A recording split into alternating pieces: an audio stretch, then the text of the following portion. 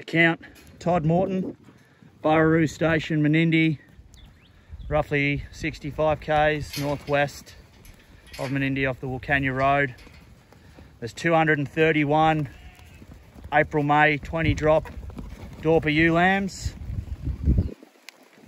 They're predominantly dust and rain blood, um, making up about 85% of the bloodline. The other 15% would be uh, Amarula and Red Rock blood. Just been on uh, natural grasses, herbages. Season's been very good up here. As you can see, the, the ewes are in very good condition. Roughly 55 kilos the day of assessment. They're organic certified. Uh, they have been joined as a part of the Burraroo joining program with their mothers.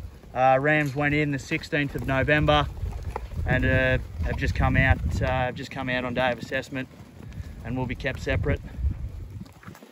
They'll wean 15th of December. Very neat line of uh, of good young ewe lambs. Ideal to uh, start or add to a Dorper program. Very nice shoes.